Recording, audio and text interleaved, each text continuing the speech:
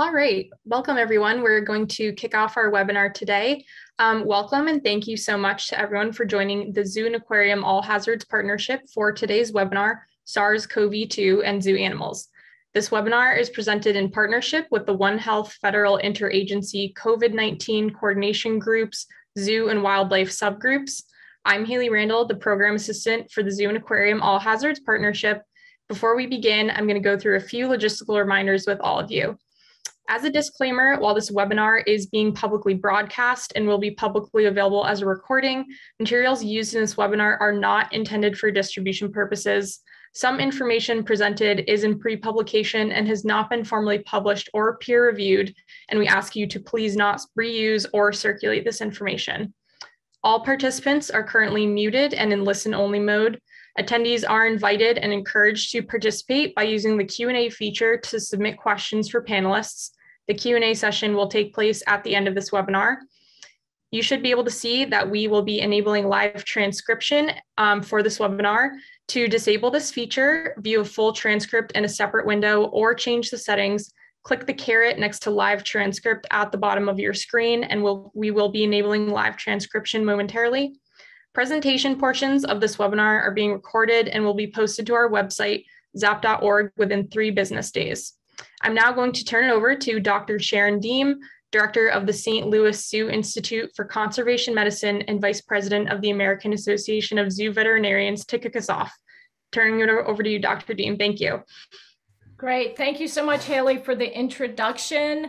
A special thanks to this amazing group of panelists for giving their expertise and time. And thanks to all of you for attending this important webinar in which a main focus is to share best practices on protecting humans and animals from SARS-CoV-2.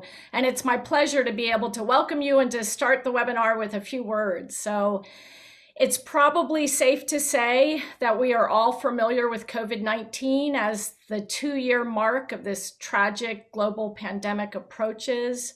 During these months, we've learned a great deal about SARS CoV 2, the virus, biological and epidemiological realities, as well as human behaviors, as all these relate to how we may be able to minimize the impacts of this zoonotic pandemic.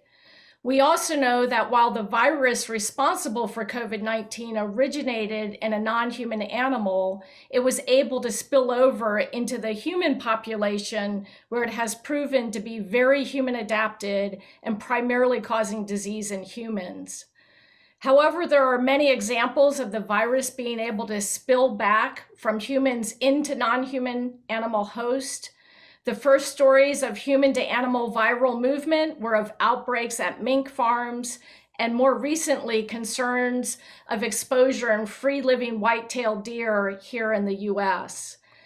As we will hear in this webinar, domestic and non-domestic animals in human care have been exposed, infected, and have even suffered morbidity and mortality, so sickness and death from the spillback of SARS-CoV-2 from humans to animals. But I also hope it's very evident during this webinar and as we move forward that you see how closely and carefully the health of zoo animal populations, how the health is monitored and delivered. And this includes daily assessments of caretakers, preventative medicine programs such as diagnostic testing capabilities and vaccinations, 24 7 access to veterinary care, and pathological services for antemortem and postmortem evaluations. Zoo veterinarians, other zoo staff members, and allied organizations such as the Centers for Disease Control and the U.S. Geological Survey National Wildlife Health Center, working together, we can prevent and mitigate impacts of this disease on the health of the animals for which we care. And Although this is a rapidly changing situation, as Omicron reminds us, today's panelists will share the most current data on SARS-CoV-2 infections in zoos, and most importantly, will share the best practices on protecting humans and animals from SARS-CoV-2. So now it's my great pleasure to hand the mic over to Dr. Jonathan Sleeman, Center Director of the U.S. Geologic Survey, National Wildlife Health Center, Take it away, Dr. Sleeman. Great. Thank you, Dr. Deem. Very much appreciate your open remarks. And I'd just like to also express my appreciation to the AZA uh, for hosting this, this webinar. So in, in, addition to my, to my daytime job as Center Director for the National Wildlife Health Center, I'm also chair of the One Health Federal Interagency COVID-19 Coordination Group, the Zoo and Wildlife Subgroup. And, and that's the main uh, group that, that's helped put together a lot of the presentations here today. Uh, it really has been a very good collaboration between ourselves, CDC, um, uh, AAZV, AZA, and other agencies. I'm just going to very briefly um, share my screen um, just to show you the, the, the agenda for today. Um, as, as Dr. Deem mentioned, we're going to have some opening presentations, kind of giving an overview of the current situation regarding SARS-CoV-2 infection in, in, in animals under human care. Then we'll talk about the preventive measures, the, current uh, tag recommendations, some case examples, uh, and then we'll, we'll, we'll, try and leave as, as much time as we can for, for, for, for questions and answers. So without any further ado, um, I'd like to introduce our first two speakers, uh, Dr. Ria Ghai from the CDC and Dr. Karen Terio uh, from the University of Illinois. They'll be giving us a presentation on, on setting the scene, an overview of the current situation regarding SARS-CoV-2 and, and, and zoos. So Ria, I think you're up first. If you want to go ahead and um, share your slides. Perfect. Thank you so much, Dr. Sleeman.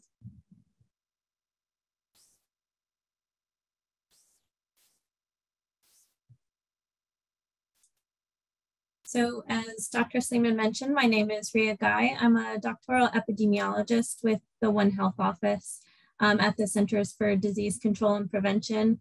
Um, also just wanted to express my gratitude for AZA and ZAHP for being able to present here today and share some of the things that we've learned about SARS-CoV-2 in zoos, sanctuaries, and aquaria to date.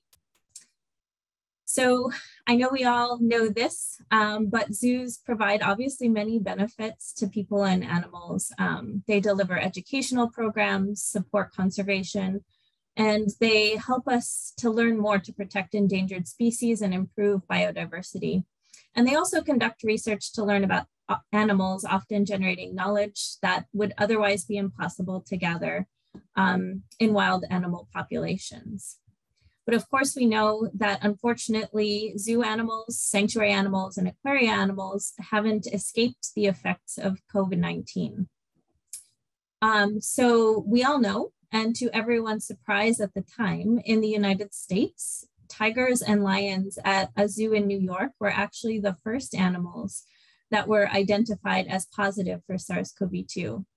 And over the subsequent year and a half, we've identified really quite a diverse range of animals that have been infected with the virus, both in the United States and globally. Um, animals that have been affected at zoos include big cats uh, like lions, tigers, cougars, fishing cats, snow leopards, and many other species, including hyenas, gorillas, Asian small-clawed otters, coatis, and binturong. While SARS-CoV-2 infections have been detected in zoo animals in over 30 countries to date, many of these animals, including hyena, fishing cats, binturong, and coatis, to name a few, have recently been identified in zoos here in the United States within just the past few months. Um, just this week, actually, news broke that two hippopotamus have tested positive for SARS-CoV-2 at a zoo in Antwerp, Belgium, uh, Belgium, after showing signs of uh, mucousy nasal discharge. So these are just a few of the species shown on this slide that might be part of zoological collections, um, but have not yet been detected in zoo sanctuaries and aquaria. So these include animals like ferrets, mink, and white-tailed deer, which we know to be highly susceptible to the virus. And we therefore wanted to include them in this slide as kind of our list of species of concern. Um, the purpose of today's webinar is to address the growing number of SARS-CoV-2 cases and outbreaks among zoo animals in the United States. So in recent months, you may have noticed that there's been an uptick in the number of media articles pertaining to zoo animals, Some document new species uh, that have become infected, in infections in threatened or endangered species, and others describe more severe illness or even death in zoo animals. So during this webinar, our intention is to provide information on what we know about SARS-CoV-2 at zoos, introduce, introduce both new and existing resources to assist you in preventing and responding to SARS-CoV-2 at your facilities, and to really have a discussion with you about additional support or needs that you may have. So I'm going to begin with sharing some of the data that we have at the national level. Um, and I'll just preface this by saying that these data were really collected in collaboration with a number of partners, including USDA, state and local health authorities, and staff at affected facilities. So the first piece of data that I'd like to show you is this histogram, which um, shows the animals that have been reported as SARS-CoV-2 positive since the beginning of the pandemic. So the number of cases is reported on the y-axis and the month is on the x um, since February of 2020. And this histogram really reflects companion animals, zoo animals, and wildlife um, but it doesn't actually include one other important animal demographic, which are mink on farms, where there have been outbreaks of over 440 mink farms in 12 countries. So to orient you a little more to this figure, each animal group has a corresponding color group. So companion animals are shown in shades of red, orange, and yellow and zoo animals are shown in shades of blue and green, while wildlife are shades of purple. So as this figure shows, the majority of infected animals that we know of to date, um, other than mink, of course, have been companion animals, which take up about 36% for cats and 33% of all known animal SARS-CoV-2 infections in the US for dogs. Um, however, if we focus specifically on what's been happening since July of this year, which um, you can now see in the area highlighted by the rectangle, you can see that there's been a bit of a switch from a predominance in companion animal cases to zoo, sanctuary, and aquaria animal cases, with the most common being lions and tigers. I would like to note that this uptick does correspond with a rise in the Delta variant of concern within the human population, um, and that since July, all zoo animal infections where a sequence has been able to be generated has been um, infections with the Delta variant. We are continuing, of course, to to analyze our data to determine if we can detect signal that might indicate that the Delta variant is more transmissible to some animals. Um, but as of yet, we don't have any significant difference in the number of animal types, or sorry, the number of animals um, infected with wild type lineages versus those infected with alpha or delta. The next figure I'd like to show you is a map um, which really highlights the geographic distribution of the 120 zoo, sanctuary, and aquaria animals that have been confirmed positive with SARS-CoV-2. And this has been at 32 zoos, sanctuaries, and aquaria across 22 different states. One thing to note is that um, these numbers reflect only animals that were confirmed positive for SARS-CoV-2 at USDA's National Veterinary Services Laboratories. However, we do know that in many instances, other animals, sometimes residing in the same family groups, for example, were considered infected, but weren't actually confirmed at NVSL. So we, we do know that this number is certainly an underestimation of all known cases. Nevertheless, you can see from the icons that these cases have spanned six mammalian families of Felidae, Hominidae, Hyaenidae, Mustelidae, Procyonidae, and Viverridae. And perhaps one salient lesson that I'd like to point out from this slide is that we have learned really a tremendous amount about the diversity of animal species that can be naturally infected with the virus, which indicates its overall host range. And that's really been gained by studying cases and outbreaks in these zoos, sanctuaries, and aquaria. Um, and of course, with that comes the corresponding conservation concerns we've learned about associated with SARS-CoV-2 infection in the world's threatened and endangered wildlife. Next, um, I wanted to show you some of the data we have on how zoo, sanctuary, and aquaria animals um, have presented clinically with SARS-CoV-2. So looking on the left side of the slide, 84% um, of all animals have had clinical signs of some sort, while 2% have been entirely asymptomatic, and the remaining 14% are unknown.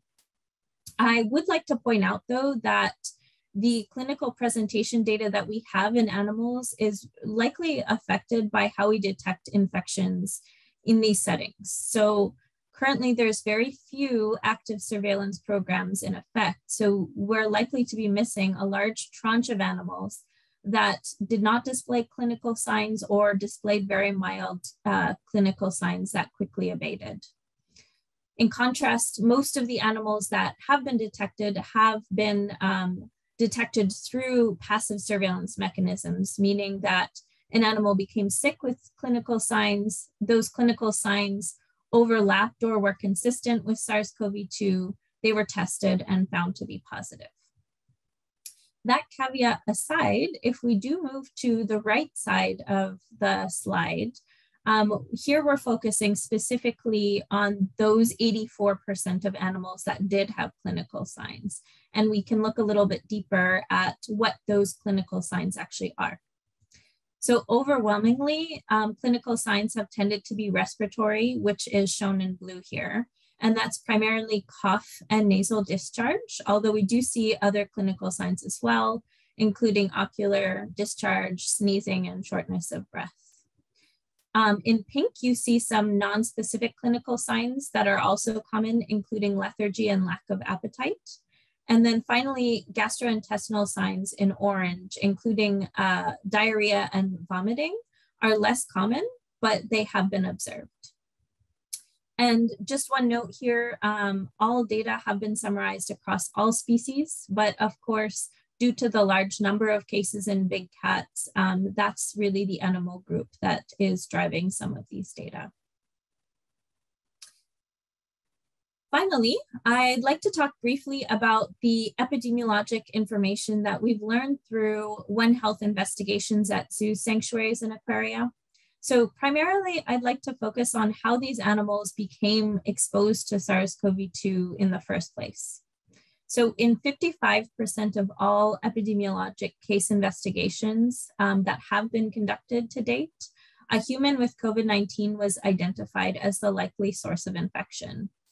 In nearly all of those investigations, this person was a caretaker that worked closely with the animals and was responsible for feeding, training, and other routine care. In many instances, um, these caretakers were entirely in, asymptomatic and in others, they became symptomatic while at work before they could isolate. In investigations where sequence data were available um, for both the caretakers and the exposed animals, we've seen that sequences um, do match quite closely um, if they're not identical altogether with um, infected animals. In 23% of investigations, um, no person could be identified as positive for COVID-19 within a time frame that um, may have precipitated animal infection. So oftentimes staff and volunteers were screened and were all negative for COVID-19. So in those instances, other sources of exposure, such as indirect exposure through contaminated food or potentially even the public um, have been considered as possible other sources.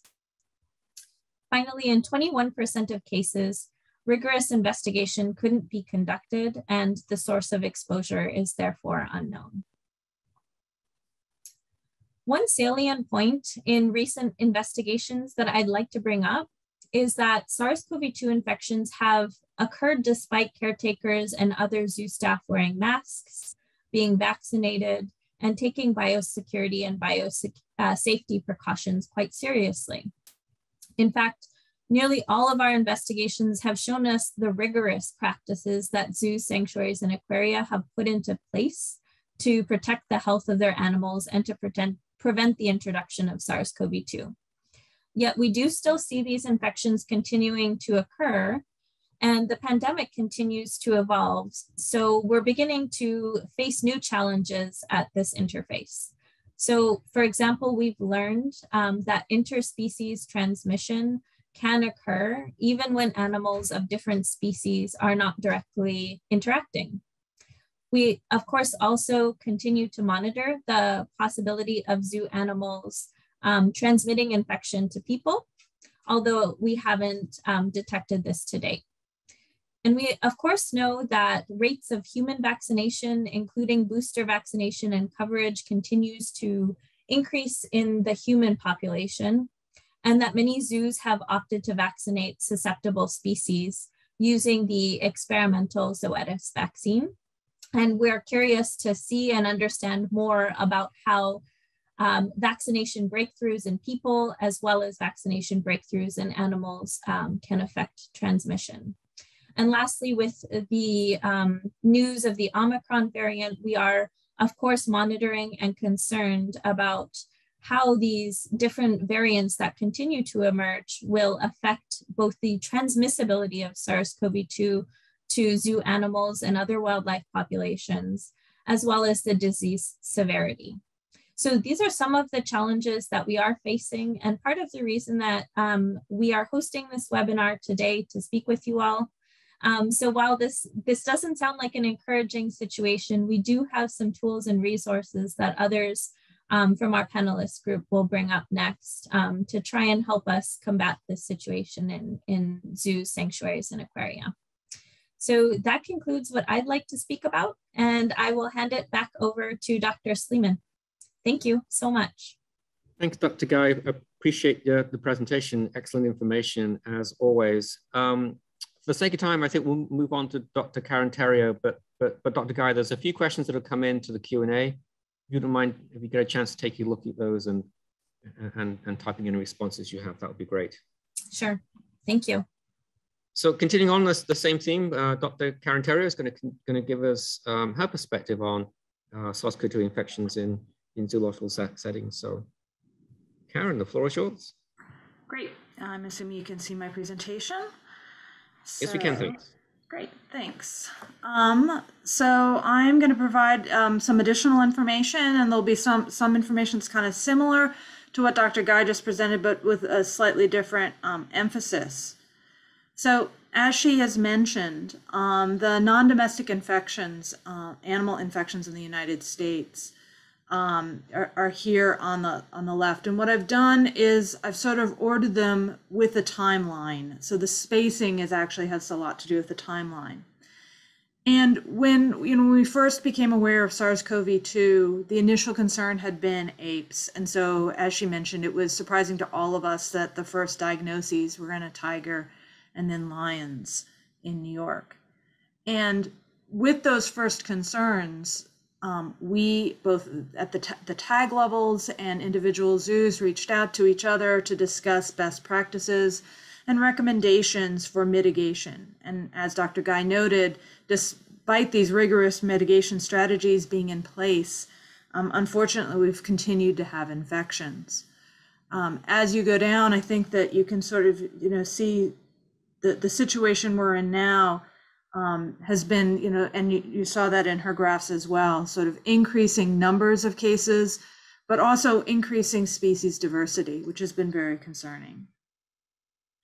And again, this sort of looks at those confirmed taxa worldwide that she's covered as well. I won't go into it in any other detail, other than to say that the, the carnivora seem to be very disproportionately affected um, in these, other than obviously the humans um, within the Hominidae. Um, but again, uh, you know, this is something that we have to remember that this is a human disease and it's spilling over, spilling back into our animals.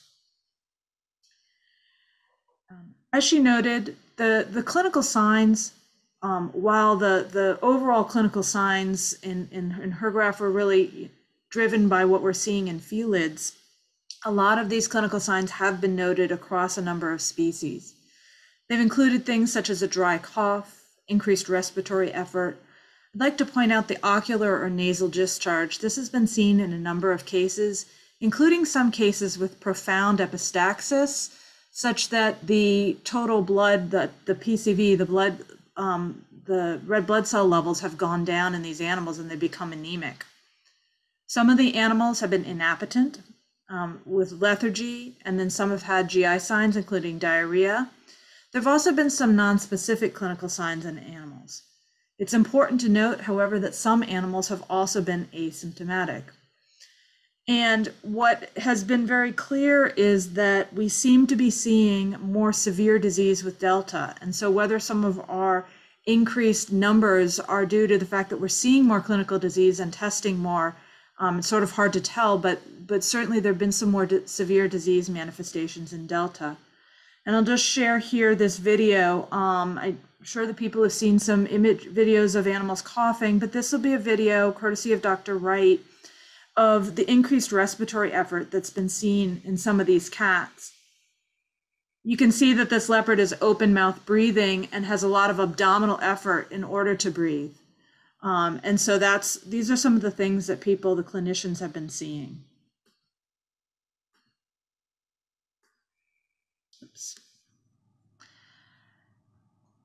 Obviously, with any of these infections, the most important thing that we need to do is prevent them.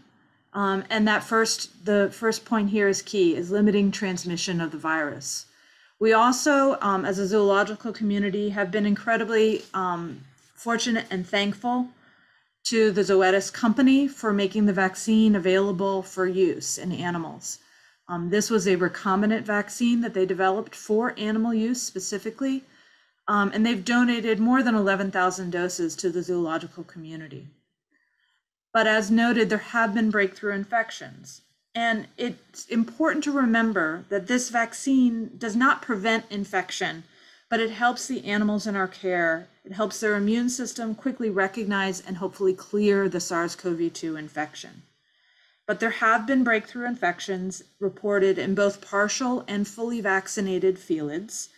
I've not heard of similar breakthrough infections in apes or other species, but they may exist. And that said, the disease in these vaccinated animals has generally been mild. Um, and so, and to my knowledge, all the these um, breakthrough infections, the animals have recovered as well. This next um, slide here shows a flowchart, an algorithm for determining the role of SARS-CoV-2 in, in disease and unfortunately in mortality in animals. Um, and so that's the, the next, you know, step that we're at here to talk about. Um, and utilizing this flowchart, um, we're able to sort of characterize whether or not SARS-CoV-2 is important in the, the demise of individual animals. Um, and it includes information about whether or not the animals have, you know, certainly they have to be test positive for SARS-CoV-2, whether they have consistent clinical signs, whether they have comorbidities, it, whether or not the virus is actually present in the critical organs, and their histologic lesions that can be attributed to the viral infection. And that's what the, this flowchart helps us to understand whether or not the, the viral infection has been contributory to demise. And I'm going to note here, this is pre-publication information. Um, we're providing it here because we think it's important to get out to the zoological community, um, some of the things that are going on, but that this mortality investigation in these cases is still ongoing, and this has not been peer reviewed at this date. However, we have this preliminary, preliminary information that we can share. Um, it, I also want to emphasize that these outcomes are rare. Um, we're looking at less than 5% of the total um, infections in felids that have had these outcomes, but that they can occur. To date, the cases that we have are in snow leopard, and that's multiple snow leopards, and a single lion. All of the individuals have been confirmed to have been infected with the Delta variant and they've had an incredibly acute disease course with the disease course being as little as three days from initial clinical sign to death. Um, in these cases, there was only very mild underlying disease in a couple of cats. One cat had epilepsy and um, another one had arthritis. At necropsy, neither of these lesions were of sufficient severity to have caused their death. The cats died or were euthanized because they were in severe respiratory distress. No other diseases were noted in the, these cats at the time of necropsy. We tested the lesions for the common feline pathogens and viral infections, including feline herpes virus and calicivirus, and they have all been negative to date. In all of these cases, while there were bacteria and or fungal infections that may have precipitated the demise or contributed to the severity of their disease, these bacterial and fungal infections appear to be secondary infections, and they're secondary to the underlying damage that was already existing to the respiratory tract. And this damage had pathologic or histologic microscopic features that are consistent with a viral infection and were not consistent with a primary bacterial or fungal disease. In these cats, we have been able to confirm that both the presence of the SARS CoV 2 viral RNA as well as protein consistent of an active viral infection, and these could be identified within the respiratory tract lesions. In some of these cats that had concurrent fungal infection, there was evidence of fungal sepsis um, that was contributed to death. These fungal infections, however, may have been predisposed to by antibiotic treatment that had been given early in the disease course, as the fungal co-infections occurred in the cats that died at the 14 day end of that range. And so those cats died between 12 and 14 days post disease and treatment onset. Um, therefore, um, based on the information that we have to date and sort of using this, this algorithm, um, we feel that SARS-CoV-2 was considered either a contributing or a primary reason for the death of these cats. I'm going to show some histologic lesions so that you can sort of see what we're, we're talking about. But basically, um, what we're seeing in these cats are that they have a very severe and ulcerative um, and necrotizing rhinitis, so inflammation in the nasal passages, that's associated with a copious exudate. So this is um, mucoid material within the nasal passages, and in some cases, hemorrhage, and that's sort of consistent with the clinical signs of epistaxis. The cats have had a very severe and ulcerative tracheitis, so inflammation and ulcers in their trachea, and they've had pneumonia, um, it's predominantly a bronchopneumonia, but there is a component of interstitial edema and essentially flooding of the airways with both fluid and fibrin. And we'll talk about that in a little bit, um, as well as hemorrhage in some areas due to, and probably hemorrhage is likely due to the damage to the airways. The, based on these findings, we have a number of conclusions and recommendations that we can make. And the first is that prevention is key. Obviously, we don't want to, our cats to be in, um, infected. The most important thing that we can be doing is trying to prevent um, transmission of this virus to animals in our care. Um, and we're going to be spending the majority of this webinar talking about those types of uh, preventive measures that we can employ. Um, but we did want to provide this information of on the mortalities so that you could understand the context for that. Testing is also considered to be important, especially testing early on. It'll give you information as far as whether the animals are infected or not, and then also can help guide um, treatment, as well as further preventive and mitigation strategies to prevent spread within animals in your collection, and of course, um, to guide your um, thinking as far as preventing your staff and, the humans that are working with the animals. Based on the lesions that we have seen, uh, the following is what we're going to be recommending with regards to treatment for animals.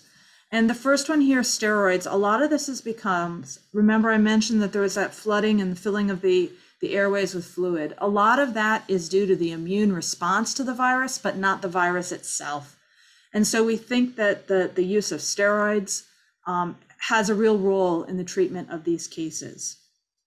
Because of the importance of secondary infections, antibiotics and antifungals are also strongly recommended. And many of the clinicians that we've talked to have also recommended the use and found that the animals responded well to appetite stimulants and supplemental oxygen. As far as testing is concerned, um, we've been through this in a number of different webinars and different forums, but remember that this is at the recommendation of your state animal health officials. And so you need to work closely with them and they'll recommend which laboratory to send samples to for the initial testing. And those could be either the NAHLN or the National Animal Health Laboratory Network laboratories or private laboratories. And the cost of this initial testing is borne by the submitting institution it's approximately $50. But then when those labs receive a positive test result, it's reported out as a presumptive positive, and there, the sample is then sent on to the National Veterinary Services Laboratory in Ames, Iowa for confirmation automatically. And then the, the laboratory, the NVSL laboratory, will do that confirmatory testing. They use a, a reverse transcription PCR test for that and in some cases will perform whole genome sequencing, um, particularly in cases with high viral RNA levels or in unexpected mortalities. And then they will coordinate and work with the zoos to do the OIE reporting. And with that, um, I'd like to first uh, thank the, the number of the different zoological institutions that have provided information for us to better understand this disease and information and have been willing to share their cases with us, and in particular, Honolulu Zoo, the Lincoln Children's Zoo, and the Great Plains Zoo. And I'd like to thank um, my pathology colleagues, Dr. Jana Ritter at CDC and Mary Drozd at the University of Nebraska Lincoln, for their assistance in working up these cases. And with that, I will hand it back to Jonathan. Thanks, Dr. Terio. Very much appreciate uh, your presentation, the information you provided. Um, again, there's a few questions for you in the, in, in the Q&A. If you won't mind taking a few moments to take a look. Um, otherwise, we'll move straight on to Dr. Kate Varela, who's going to give us a presentation on a, a, checklist tool that she's developed regarding preventive measures. Dr. Varela, are you able to show your slides?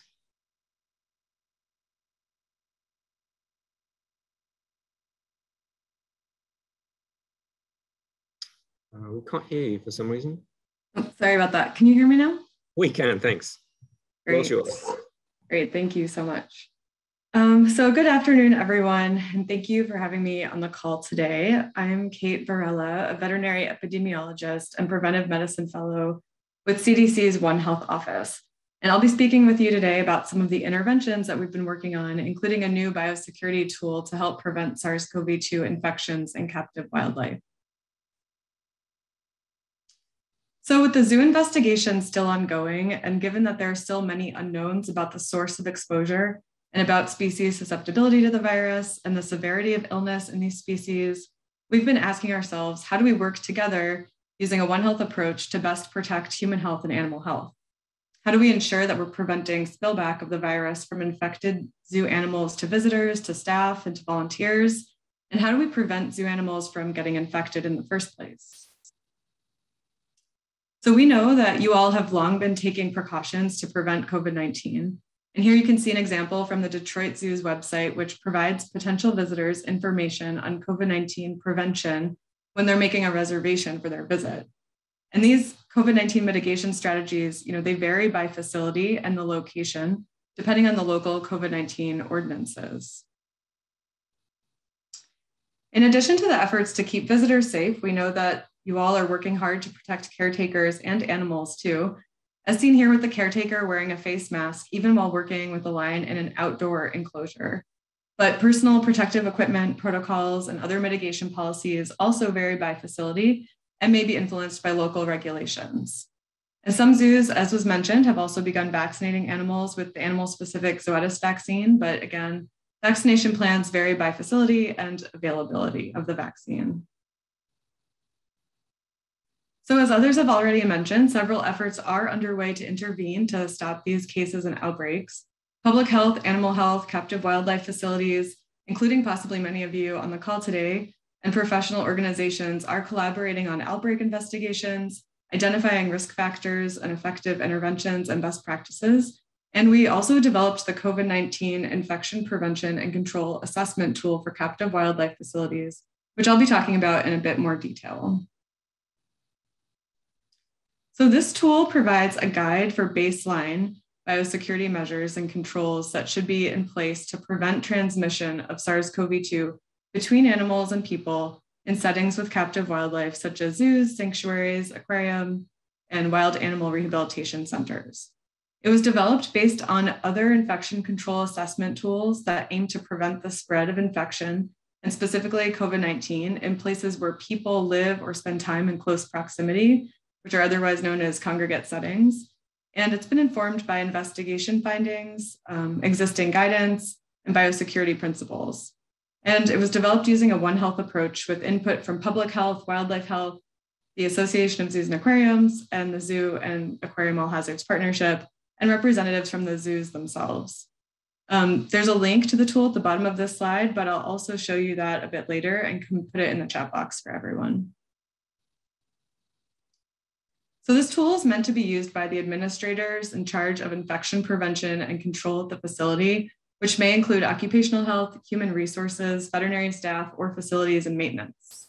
And since COVID 19 mitigation protocols vary by facility and geographic region, we wanted to provide a resource to help identify gaps in control measures um, and how to address those gaps with feasible improvement activities, with the goal of helping facilities develop a layered approach using multiple strategies to reduce the spread of disease between people, whether they're working at the facility or visiting, and animals that are housed at these facilities.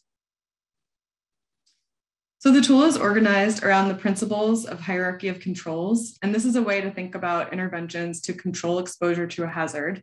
In this case, the hazard is SARS-CoV-2. And if you're looking at the inverted pyramid on the right side of the screen, um, control measures at the top or, are more effective than those at the bottom. So eliminating or substituting the hazard are ideal, though in the case of a captive wildlife setting, these may not be practical options. Engineering controls refer to controls that remove the hazardous condition or place a barrier between the person or animal and the hazard to prevent them from coming into contact with the hazard in the first place. Administrative controls actually change the way people work by changing policies. So, for example, requiring vaccination for all employees is an example of an administrative control.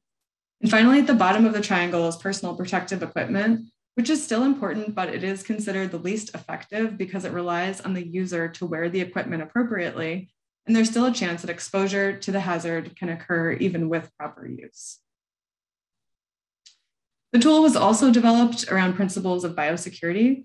And biosecurity refers to management practices that prevent introduction of the virus to the facility, thereby reducing the risk of disease and contamination.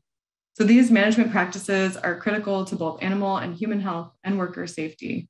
And some of the primary components of a comprehensive biosecurity plan are shown here, but we'll discuss them in more detail as we go through the tool. So the tool is comprised of a checklist with seven specific sections seen here.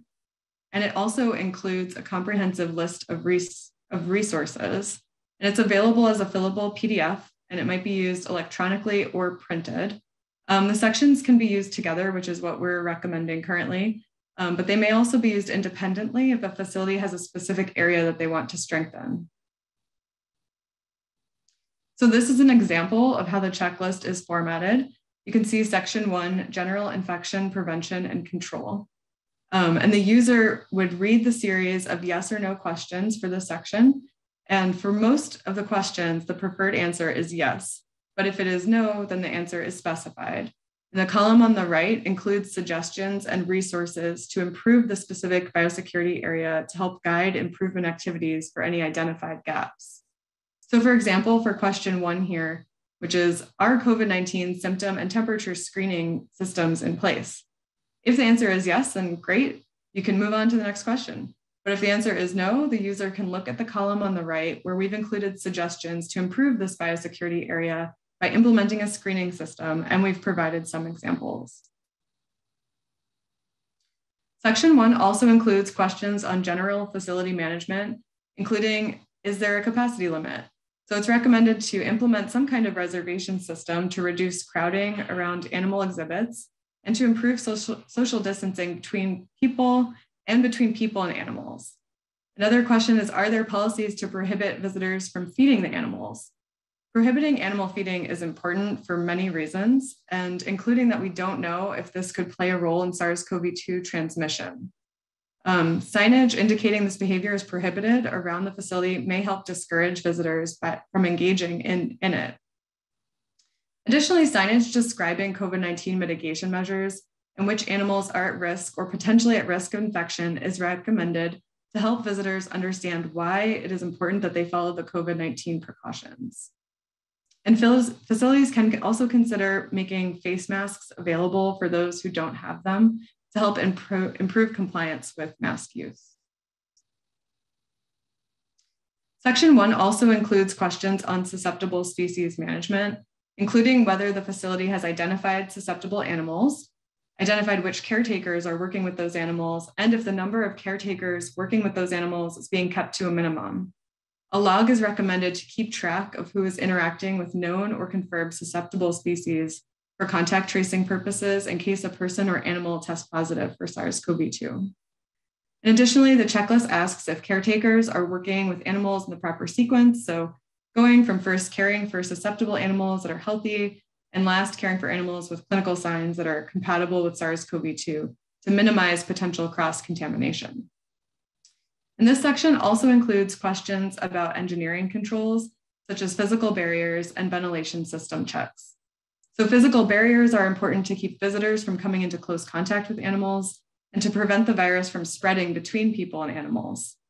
The risk of spreading SARS-CoV-2 through ventilation systems is not clear, um, but facilities may consider consulting with an experienced HVAC professional to conduct a ventilation system assessment to ensure that ventilation systems operate properly and provide acceptable indoor air quality for each enclosure area and between enclosure areas and workspaces.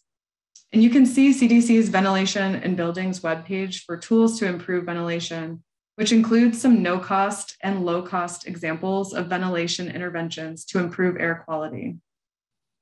The next question asks if there's an isolation area to keep animals with respiratory or GI signs isolated, which is recommended if it's feasible.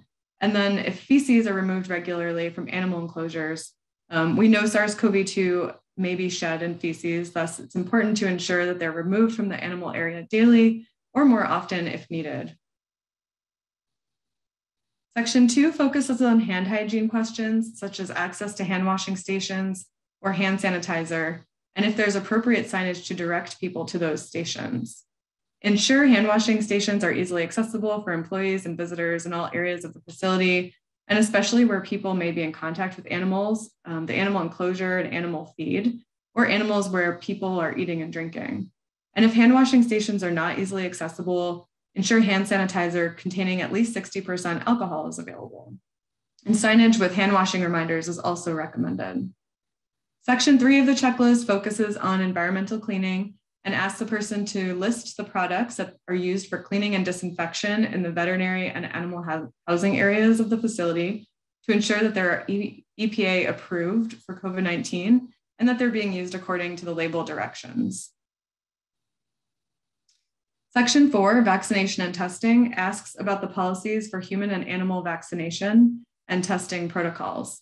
And facilities may require, may consider requiring a proof of negative test result and or proof of COVID vaccination for those visitors participating in activities where they might have close contact with animals, such as behind the scenes experiences. Having a testing protocol in place is recommended to be prepared if an animal develops clinical signs consistent with SARS-CoV-2.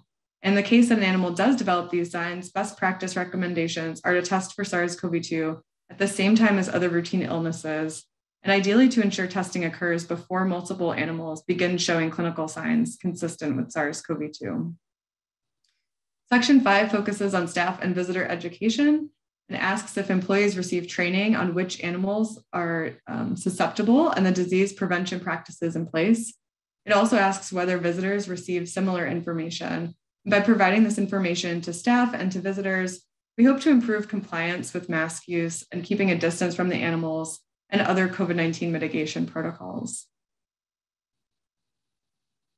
Section six focuses on personal protective equipment um, and if there's a respiratory protection program in place at the facility for employees and volunteers. Respiratory protection, as we know, is especially important to prevent virus transmission. And well fitting face masks covering the nose and mouth should be worn at all times when working indoors with susceptible animals, when training, when preparing diets and enrichment items, and when working outdoors within six feet of felids, regardless of the human vaccination status. Multiple ply surgical masks are preferred over other cloth face masks, and facilities may consider upgrading to fit tested N95s for those employees working with or around susceptible animals. All employees and volunteers should receive information at the training, at this um, information and training at the start of using PPE and annual refresher training as part of a, a respiratory protection program. And the training should include information on putting on and taking off PPE, making sure it fits correctly, how to dispose and store it, and for which activities it should be used. And for visitors, Ideally, face masks should be used during the entirety of the visit since there are many unknowns about species susceptibility and transmission of SARS-CoV-2 between people and animals. And ideally, this would be a well-fitting surgical mask. At minimum, visitors should wear face masks when visiting indoor exhibits housing susceptible animals and when participating in activities that may result in close contact with susceptible animals, such as animal encounters or behind the scenes tours. Section seven has a few additional questions on other public health control measures, such as if the facility has a process for reporting suspected animal cases, and if there's a, flex a flexible sick leave policy to help ensure that those who are ill, suspected, or confirmed to have COVID 19, or who may have been exposed, stay home to prevent infecting other people and animals. So that's the end of the checklist portion of the tool. The tool includes resources for more information on all the sections that are included in the checklist. There's a list of federal resource web pages that you can see here, and a list of professional organization resources that are shown here. So what's next? Um, now we're working to distribute this tool widely. And again, it's shown at the link on the slide. Um, please feel free to share it with your networks. And if you do use it at your facility, we're definitely interested in any feedback you have, including the usability, the feasibility of the recommendations. Did using the checklist uncover gaps that you could address or help inform protocols? Um, any other areas that you would have liked to see covered or any additional comments that you have. So please feel free to reach out to me and my colleagues um, at onehealth at cdc.gov if you have questions or to share feedback on the tool. Um, we'll also continue to collaborate on outbreak investigations, studies to identify risk factors, and continue to provide technical expertise as needed. So this has truly been a team effort of which I play a very small role. So I'd like to sincerely thank all involved, including all the zoo staff um, that aren't listed here by name, but have, who have been cooperating during the EPI investigations and doing all the boots on the ground work of implementing mitigation strategies, in addition to all of the day-to-day -day animal care and other responsibilities. So just wanted to say that we so appreciate your hard work and want you to know that we're here to support you. So I'm happy to take questions at the end and we'll take a look at the chat box in case there are any. And thank you very much. With that. Yeah, thank you, Dr. Varela. Excellent presentation. Um, yeah, so so so we keep moving on. If you maybe just check the Q and A um, section and feel free to answer any questions as we go along. Otherwise, we'll we'll pick them up at the at the end. Uh, and please do not minimize your role in, in development of that checklist. You've done a fantastic job and uh, really, really hard work in putting that tool together. Okay, I think we're back now to Dr. Karen Terio. She's going to give a brief presentation on, on, on some of the current recommendations the different taxon advisory groups have, have issued. So uh, back to you, Karen. Floor is yours.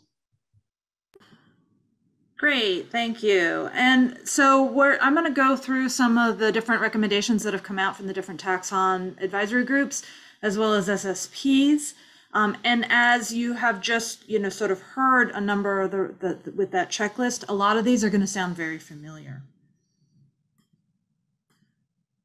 Um, so first off, for those who may not be familiar, although I think most people on this call are, um, the Association of Zoos and Aquarium have a number of different taxon advisory groups which develop recommendations for population management and conservation of those taxa. And within those taxon advisory groups, there are often also species survival plans or SSPs. I'm going to um, highlight two of the, the recommendations from two of the taxon advisory groups. Um, first, I'll talk about um, APE TAG, Taxon Advisory Group, and the veterinary advisor for that is Dr. Hayley Murphy. Um, and then also the Felid Taxon Advisory Group, um, of whom the advisors are Dr. Ellen Bronson, myself, and Dr. Denise McAloose. Um, as I mentioned previously, the APE tag was the first one to sort of come out with the recommendations. We modeled the Felid tag recommendations after the first cases were identified. We modeled our recommendations off of the APE tag, and many of the other taxa and tags have modeled their recommendations off of those that we've put out. And then both the Felid and APE tag recommendations have been updated recently as new information has come out. Um, there are also these recommendations, if you want to actually find them, oops, sorry, can be found on um, the ZAHP website as well as on the ZooVet um, website. So both these are available on both of those um, as far as resources. And many of these recommendations um, are really involved in sort of breaking this cycle with transmission. Um, so as we know, obviously the animals in our care are getting the infection from us. Um, and then there has certainly been concern about animal to animal spread. Um, and we don't yet know about the potential for um, in, infections to go from animals in our care back to us. I think we always have to remember that the reality is that this is a human disease pandemic and that any animals are animal any humans our animals are exposed to, we are too. And so the chance of us getting infected from other humans is much, much greater. And that's really where um, the emphasis needs to be placed. And so our goal is to break this transmission cycle at the very beginning. With regards to the APE Taxon Advisory Group, um, their recommendations um, in, are um, sort of hitting multiple of those areas in the hierarchy of control. Obviously, we're looking at things like PPE and disinfection of different, um, both the PPE for humans, obviously, and disinfection of any commonly touched, those common touch points. So food, um, bowls and whatnot, um, making sure that when people are preparing diets, and I know that I saw there was a number of questions coming through on this, and we'll we'll discuss those in the live Q and A. Um, but making sure that people are wearing masks during food preparation and gloves as well. Um, limiting access, trying to really identify who needs and, and, and to have access to the animals and how close they need to be in proximity. Um, I think many of the different taxa um, recognize the importance of training with for our animals, and we don't want to limit that because of there's enormous benefits um, for the animals, both from a welfare standpoint, but also should they actually get sick, there have been benefits to having animals that are trained to be able to get good diagnostic samples as well as provide treatments to them. The APE tag recommendations also include staff screening, so symptomatic screening of staff, but then also recommending and looking at potential for staff bottlenecks. So if you have to go to a situation where you limit your staffing, how does that work in, as far as making sure that we're managing our apes in a way that is benefiting their welfare, but is also um, maximizing the safety to our human personnel. Um, with the Felid TAG recommendations, we have also recommended every institution do a risk assessment um, and so looking at both their, their different protocols that they have in place, taking into account things like the community transmission rates at present, as well as human infection risks. Um, for the cats, um, we have recommended now, and based off of the, the more recent information that we have, that regardless of staff vaccination status, that they should be wearing well-fitting masks and that these should be NIOSH approved surgical masks um, as, as opposed to cloth masks. Um, as um, Kate mentioned, looking into building ventilation and are there ways to improve bu building um, ventilation and disinfection of surfaces and the use of gloves. Many um, institutions have also looked at the need to utilize high pressure hoses or not, especially when you have, if you are in the middle of an outbreak at the time. And so limiting um, anything that could potentially be aerosolizing virus that's shed from infected animals. As far as staff recommendations, so again, symptom screening, limiting access, and making sure to maintain that log of who is interacting with the animals um, and who is in proximity to the animals. Um, and that will certainly help out when we're doing when we have to go back and do an epidemiologic investigation. We've also recommended that people do sort of a proximity assessment. Where are those pinch points? Where are there places where either staff or even potentially the public are within closer proximity to the animals and could serve as a source for infection to the animals? And then, of course, finally, vaccination. And so, obviously, we're recommending both vaccination of staff and felids in your care. The snow leopard SSP has also issued some additional recommendations on top of those of the Felid Taxon Advisory Group, which recommends vaccination of all snow leopards themselves. So again, this would be utilizing the Zoetis vaccine. Having only fully vaccinated staff working with snow leopards, limiting staff overlap with other species, the use of PPE, including gloves and NIOSH surgical or potentially even the use of N95 masks when working around snow leopards. And then, as I mentioned previously, testing at the first signs of infection in these cats. And they've also re um, requested that people rapidly share information about any cases that they might be having. And I've listed the email here. This is the a Google group email an email to this group. We'll send it out to the, the Snow Leopard SSP Health Advisors. And so, and again, if you want that, that information is here, sorry, um, again, as resources um, for you. And these were the resources that I used for this presentation and where you can find those. Great. Thank you, Dr. Terio. And, and we recognize that we've been giving a lot of links to different resources. I believe that we will be sharing all this information um, to you af afterwards so you can have easy access to all the resources. Um, and again, Dr. Terio, if there's any questions in the Q&A that come up, feel free to, to address them or, or we can wait until we get to the live session. All right, so we're going to transition now to uh, different case reports. And first up is Dr. Lauren Howard, who's going to uh, talk about some cases at, at San Diego. Dr. Howard, can you uh, go ahead and share, share your slides? Excellent. All good?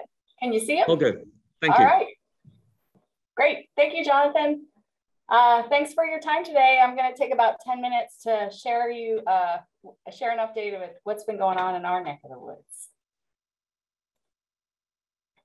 The San Diego Zoo Wildlife Alliance is a conservation organization with two front doors, the San Diego Zoo and the San Diego Zoo Safari Park. The information I'll be sharing today is a compilation of data from our SARS-CoV-2 cases at both campuses. And I'd like to thank my San Diego Zoo counterpart, Dr. Meg Sutherland-Smith, for partnering with me on this presentation.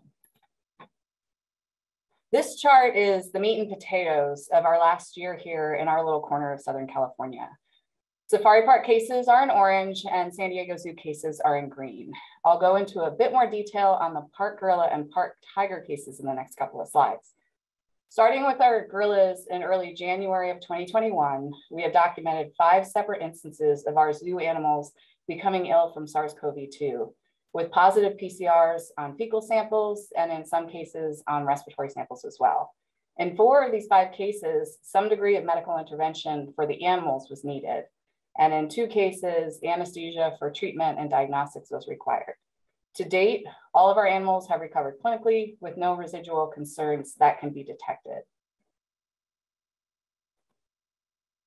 Our first experience with COVID was a doozy. Our family troop of eight gorillas were clinically impacted over a three week period in early January. The PPE in place at the time of diagnosis included daily temperature checks of all staff, daily medical questionnaires of all staff, dedicated uniforms and shoes, and surgical grade face masks when in the gorilla building or near the gorillas. This event occurred before vaccines were available to our staff, so none of our staff were vaccinated. We do have sequencing confirmation that a staff member and the gorillas shared an identical isolate. The park was closed to the public at that time, so it was easier to narrow down the source of infection. And this staff member was following all protocols and was asymptomatic at the time of transit transmission. This is an overview of the clinical observations and timeline of our gorilla troop. Our two oldest animals on the bottom of the chart were the only ones with moderate to severe signs requiring intervention. The others in the troop had mild signs, handled the virus well on their own, and the virus ran its course through the whole troop in about three weeks. We extended our period of heightened PPE for a total of 6.5 weeks, at the time reasoning that a three week window after the last gorilla started to show clinical signs was a reasonable buffer um, and we were just kind of making things up at that point.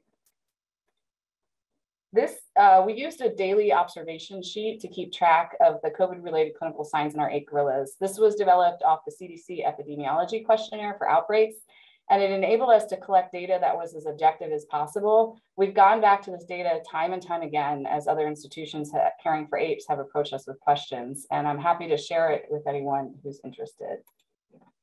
Now, our 49 year old silverback showed progressive lethargy and complete apathy towards his family troop, in addition to coughing and shortness of breath. So we did elect to perform an anesthetized diagnostic exam on day seven of his clinical signs. He was anesthetized with Telazol, given through IM through voluntary injection. And once recumbent, we brought him to our hospital on Safari Park grounds. His anesthesia was super challenging due to swelling in the pharyngeal area, copious fluid in his respiratory tract, and constant coughing, which required frequent suctioning of the endotracheal tube. An echocardiogram did show left ventricular dysfunction and ventricular bigeminy, um, giving us an empirical di diagnosis of viral myocarditis, which is a common sequelae to COVID in some humans. We were relieved to find that he did fit into our CT gantry and CT imaging revealed a right-sided pneumonia and some pleural effusion, also not surprising considering his clinical picture. He received multiple treatments during his exam, and after his procedure, we started him on oral dexamethasone and oral azithromycin, which is a theme you'll see throughout our cases. We also started a cardiac regimen, including amiodarone and carvedilol, and we worked very closely with the Great Ape Heart Project on his treatment plan. We did administer monoclonal antibodies to Winston, our silverback. We gave him two human doses combined in one liter of fluids and administered IV over an hour. These were from a research supply and not from the current human supply. That was very important to us. We did get FDA emergency use approval and the monoclonals arrived within an hour of the start of Winston's exam on our loading dock. He recovered slowly but eventfully from uneventfully from anesthesia, and we began to see clinical improvement within 48 hours of the exam, and he's now doing well. So some lessons from our gorillas. One thing our public health partners emphasized throughout our, all of our COVID cases was the importance of ventilation and increasing airflow in the buildings whenever possible. This is something to seriously consider when designing or updating holding spaces and when performing the risk assessments as we just went over of our animals. Um, we did put together a two-page white paper, um, which many of you may have seen after our gorilla episodes and it is available on the ZAHP website. Um, the link is here and we'll put it in the materials afterwards. It does have a complete detailed breakdown of our PPE during that event. Um, the instant and sustained interest it, our public health colleagues had in our gorilla situation was impressive. They saw their job as ensuring that whatever virus was in our gorillas was not going to get back to the community as Delta and now Omicron has shown us, this virus is able to mutate into new variants. And when any virus moves between species, there's always a potential for a new mutation or another variant to develop. So our public health colleagues work very closely with us to help make sure our staff and communities stay safe as we're also caring for our animals.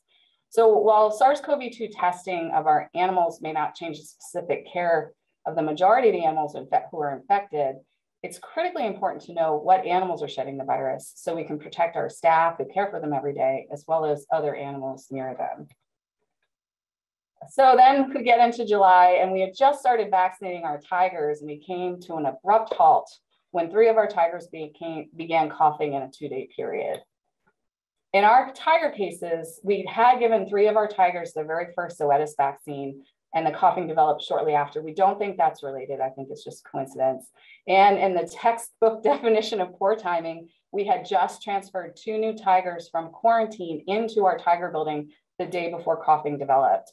Um, we are very confident that the tigers moving into quarantine were um, asymptomatic and subclinical. So we think the infection started in the tiger building. And you'll see these tigers are at the bottom of this chart.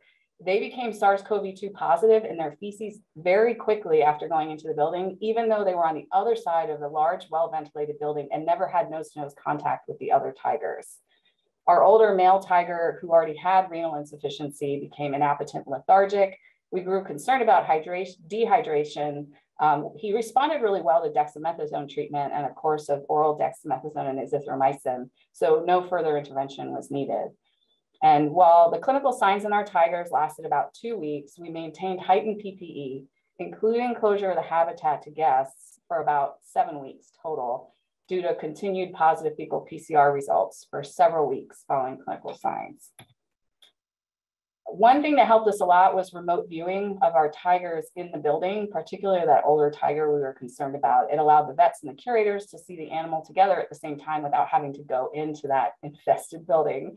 Um, and it was a real key to helping us to determine how to manage his case. Um, and our staff caring for these tigers were fully vaccinated, and it, it did not prevent this COVID episode in our tigers from happening. So while vaccination of staff is an important measure in protecting our animals for sure, it is not bulletproof. Um, and this was our first experience at SDZWA with Delta in animals, and the speed with which it spread through our tigers, especially this large building and all of these outdoor single habitats, it was very impressive. Um, and it is not something to be taken lightly.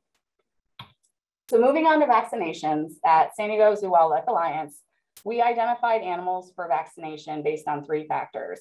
Susceptibility, perceived susceptibility based on actual reports of infections, um, evaluation of those ACE2 receptors, you've seen the papers, and then risk of exposure based on where those animals are housed. And that's exposure to people, including staff and guests.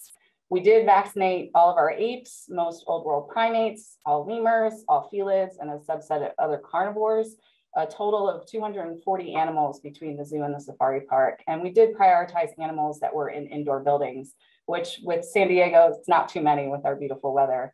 And there was a question about collecting pre-vaccine um, serum titers. We did collect and bank pre-vaccine blood samples on many of our animals that were trained to allow voluntary blood collection. That was not to determine if they were suitable for vaccine. It was purely for epidemiologic purposes and not all of those have been run yet. So our take home on the Zoetis vaccine in our animals is it, it does appear to be safe with minimal side effects. Early post-vaccine titers on a smattering of animals are very variable, and it's, it's really too early to determine what level of titers is protective. I think that's gonna take a little bit more time to suss out. And it's just most important to remember that vaccination doesn't mean you can discontinue other biosecurity preventives it's one important tool of our toolbox, but it certainly isn't the only one, as, as my colleagues on this um, Zoom call have, have told us today. And a brief look at cervids. They've been under a lot of discussion lately because of the white-tailed deer work. Uh, we are just beginning to assess the risk to the 11 species and 100 cervids that call the safari park home.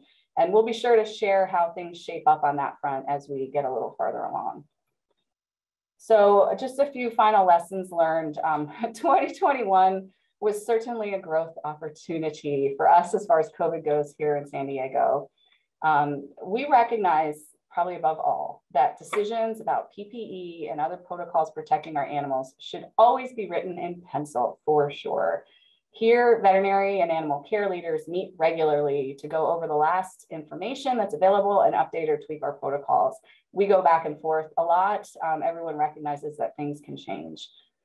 When an animal is clinically ill, and positive for SARS-CoV-2, the PPE is pretty obvious. You use it all. And that's actually the easy part. The part that is challenging and it requires a lot of collaboration is deciding when it's safe to step back down the enhanced PPE. And even harder than that, it's to determine if any new protections are needed to be implemented to prevent that infection in that animal from occurring again. Um, and that's where I think we're all struggling and sharing information like this can help. I also want to stress the importance of testing suspect animals. While many zoo animals will survive infection without intervention, if they are infected with SARS-CoV-2 and not diagnosed, they can be a source of infection to other animals and to the staff caring for them. And it is our responsibility to do what we can to keep everyone safe. I'm gonna mention it one more time, ventilation is key. It's an important part of risk assessment and in providing animals with a safe environment.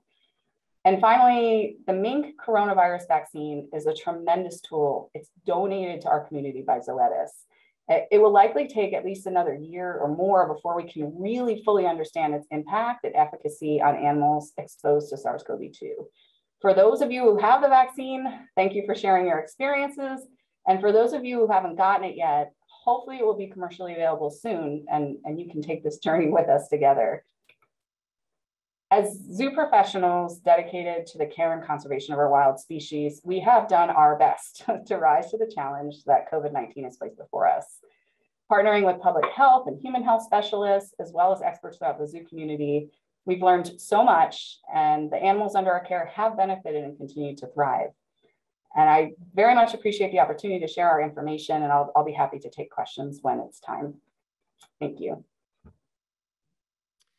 Thank you, Dr. Howard. Yeah, again, if you want to just check check the Q&A box in case anything has come, come in. Otherwise, we will definitely um, leave some time for live questions. Um, so thank you. Um, moving along, uh, last but not least, we have Dr. Sathya Chinnadurai, who's going to give a presentation on his experiences at the San Diego Zoo. Uh, Sathya, are you, are you there? Oh, I'm here. Yep. Excellent. All right. Uh, thank you for that introduction. Um, we'll be talking a little bit um, just on a on a relatively limited, uh, relatively limited outbreak of cases um, at the St. Louis Zoo that we've experienced over the past uh, few months here. Uh, thankfully, our cases here are limited um, to animals in, in one building and all felids. So we'll be having a limited discussion here. I'm going to touch a little bit on our staff safety practices as well, some repetition of things that you've heard um, from some of the other speakers. I will mention this is a very limited description of the very extensive staff safety practices that we've had in place now for, for almost two years. Um, we have a, um, a, very talented Department of Safety and Risk Management, as well as an in-house um, epidemiologist and Dr. Deem, who've been able to work with um, veterinary staff, animal management, and zoo management to to have a very extensive staff safety um, protocol to limit um, disease transmission from human to human um, within our zoo staff.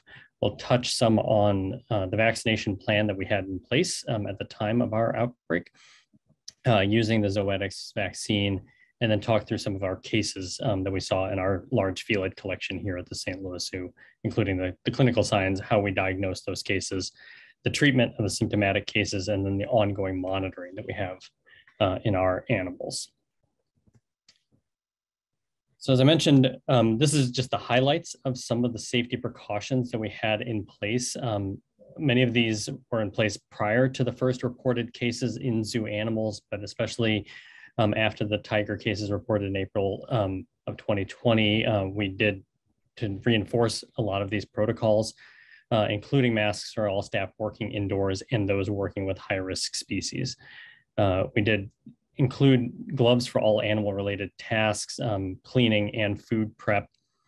And uh, as much as possible, try to maintain six foot distance um, from, from all susceptible species, but especially from cats um, in this scenario. There were certain situations when we deemed a closer contact to be medically necessary. So some of those may have been medically needed training exercises or shifting um, including uh, training for, for vaccination. In cases uh, where we did have close contact, staff were, fit tested staff were wearing N95s um, for close contact. And during medical procedures, um, anyone in close contact with the animal uh, was wearing an N95.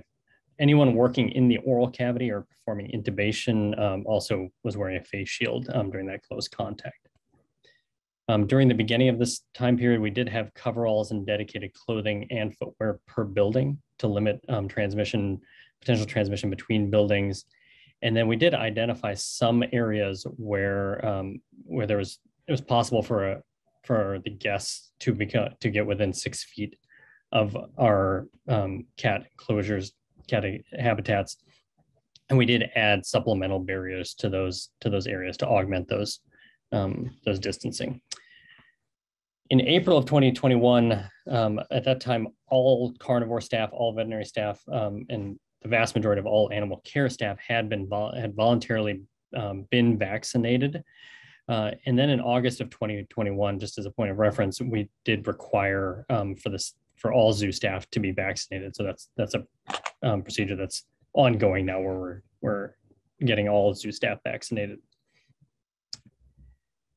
So the cases we'll touch on today, um, all were localized to one um, one area of the zoo, which we uh, refer to as Big Cat Country.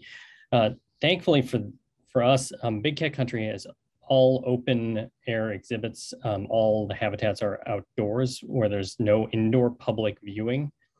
Um, separation of the animals from the public um, established with moats, mesh barriers, and, and rail barriers. Um, the downside is there is a shared indoor holding space for all cats. And as, as Dr. Howard and others mentioned, um, that does prevent, present a lot of challenges um, for uh, limiting um, spread between animals, especially with older ventilation systems. So you can see in some of those areas, we did find um, points where uh, a guest could become be within six feet of an animal during one of its resting perches. Um, so here, this is a snow leopard habitat where an animal could easily come up to the mesh and be within four feet of a, of a guest. So supplemental barriers were added there to, to increase that distancing in the building in Big Cat Country, we have a variety of larger um, cat species, uh, Amur tigers, uh, African lions, Amur leopards, one cougar, uh, snow leopards, jaguar, and a single serval. Um, I highlighted this handsome gentleman, handsome gentleman here. Um, this is a male um, Amur leopard in our collection. This was actually the only animal that um, came to came to the St. Louis Zoo partially vaccinated. He was actually vaccinated at a previous institution before being shipped to the zoo. So he was our, our first vaccine candidate. Uh, in addition to those animals in Big Cat Country, we're also managing one female tiger in quarantine up at the hospital, as well as a number of cheetah, hyena, and small carnivores that were in other buildings, but with some crossover of staff. And starting in September of uh, of this year, we did begin vaccination with the Zoetis SARS-CoV-2 vaccine, um, starting with uh, the high priority species. So we um, identified all of our primates, um, felids, canids, um, our small carnivores, and a hyena um, as, our, as our targets for vaccination. We were able to roll out that vac vaccination pretty um, quickly and efficiently Thankfully, uh, most of our animals were trained uh, for hand injection and staff were able to begin vaccinating felids. And within, um, within the first week of October, uh, almost all of the felids in our collection had received uh, their first dose of that vaccine. And by the end of October, um, between the 22nd and the 26th of this year, most of those cats were able to receive um, their second or booster dose. We did separate out uh, the lions. The lions were vaccinated on a later date because those those animals were vaccinated by remote injection instead of hand injection. So we wanted to just to space out that um, those events. And things were going great. Um, up until about this point. We were able to roll out the vaccine. We did some some PR to talk about our preventative health protocols and how we are um, uh, instituting comprehensive preventative health, um, especially in the face of this this pandemic. And then shortly after our animals received their booster dose, we had one male lion uh, present with signs of mild lethargy. And at the time, he was simply lethargic, less willing to shift. Uh, and we that day attributed some of this to uh, a response to his second um, booster dose, as we had seen a few animals in our collection show mild signs of lethargy with no respiratory signs after their second dose of a vaccine. But then the following day, um, he did develop mild ocular and nasal discharge and a cough. And on that same day, a female snow leopard also developed signs of nasal discharge. The female snow leopard had an on and off multi-year history of, of intermittent nasal discharge and upper respiratory infections. Um, so this was within within the realm of her normal, but obviously um, simultaneous with this male lion developing clinical signs. So at that time, we began uh, screening of those animals uh, for SARS-CoV-2 fecal samples were collected on the affected animals um, and submitted uh, to, to our university laboratory for fecal PCR after approval from the state veterinarian uh, for that submission. And then we began some advanced safety precautions and daily monitoring of all of our animals. some of those advanced um, precautions, our safety and risk management team began uh, contact tracing for any staff that entered the building 12 days prior to that first clinical case um, with, with symptoms and exposure risk questionnaires. Uh, no positive or symptomatic staff members were identified um, that had entered that building or been in close contact with those, those animals um, during that question period.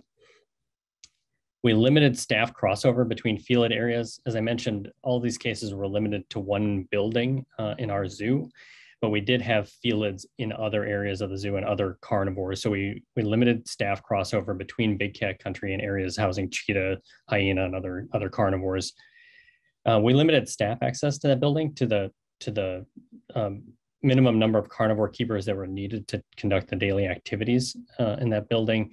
And then in cases where a veterinary staff member had to enter the building, we wore uh, dedicated clothing for that um, for that event.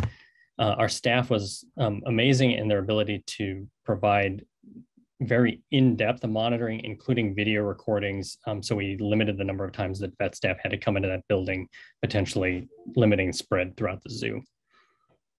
Um, we did uh, move from from surgical masks to N95s or KN95s for all activities within the building, uh, and then reinstituted foot baths and dedicated footwear. So that following week, um, we re received our first uh, positive fecal PCR results from the, the two animals that were showing clinical signs on that first day. Um, and here are my abbreviations. Um, CT is cycle threshold. And we were considering a positive test based on, on the university and NVSL guidelines. A positive test was a cycle threshold of less than 40. Uh, so our male, our male lion did test positive. Our female snow leopard, uh, interestingly, was a presumptive or suspect positive um, as it was uh, only positive at one of three targets on the fecal PCR. So in conversations with the state lab, um, this was an animal that potentially could have been called negative, but in the face of its clinical signs, we were calling it a, a suspect positive.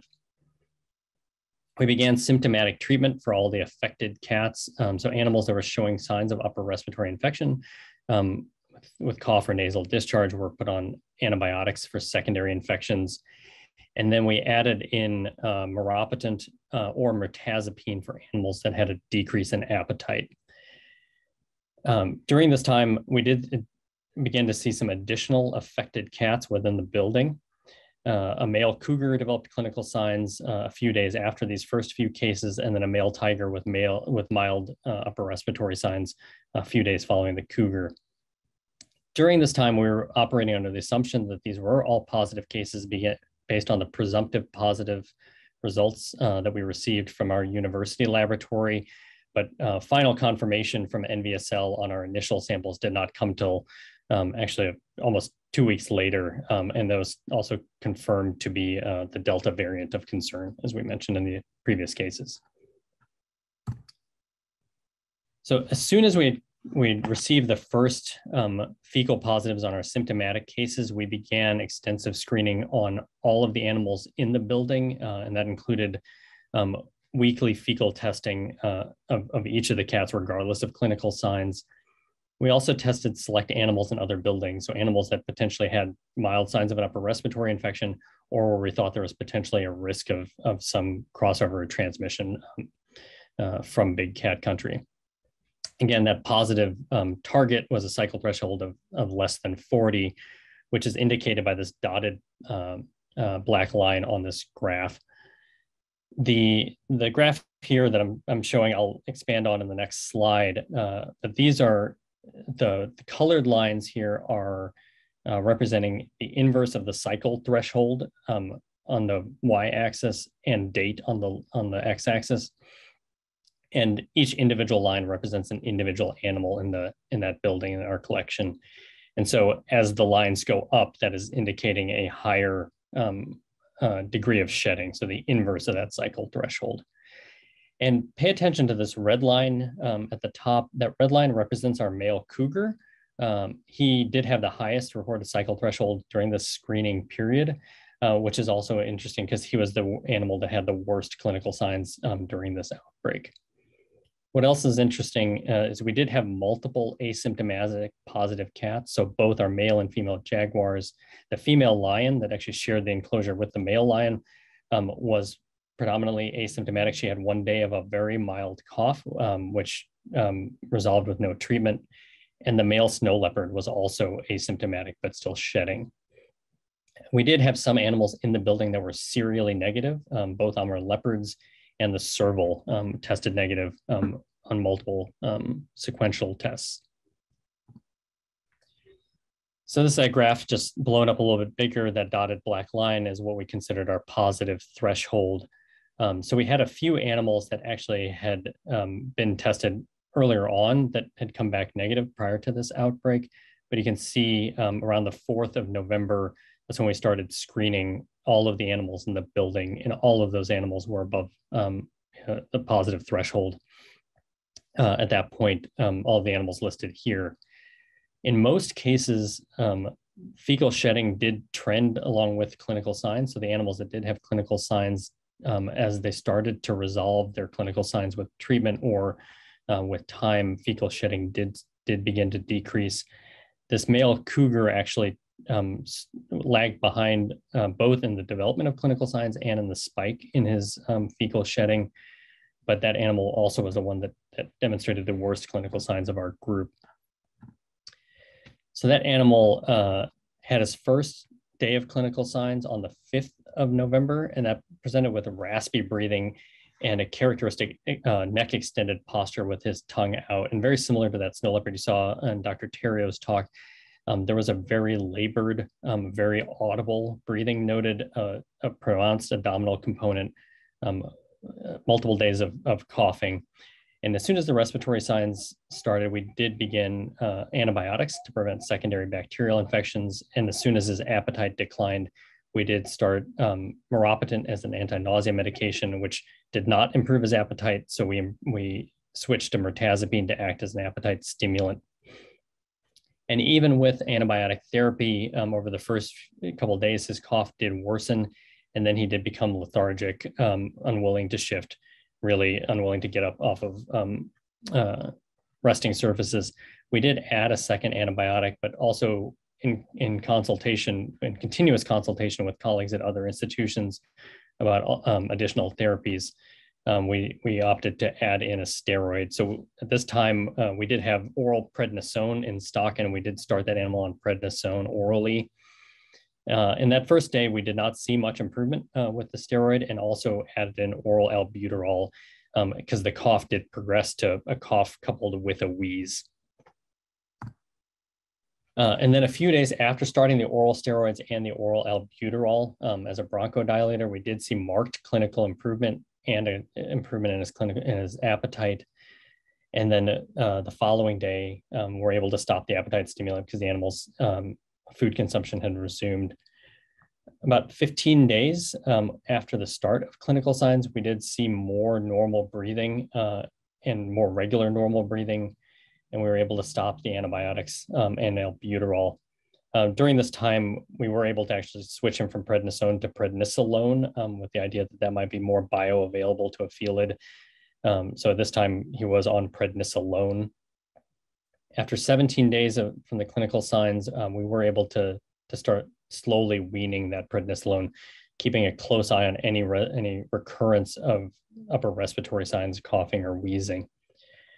And then 25 days after the initial clinical signs started, uh, we were able to stop treatment. We consider this animal clinically normal based on behavior, appetite, and respiratory signs. But interestingly, this animal is still continuing to shed um, in his, in his uh, fecal samples.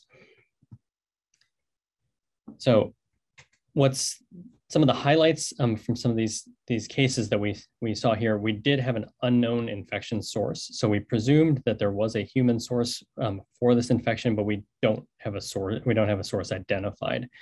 And then we're also presuming that there was some animal to animal transmission. So if an initial animal was infected by the humans by a human source, that we were able to see animal to animal transmission throughout the building.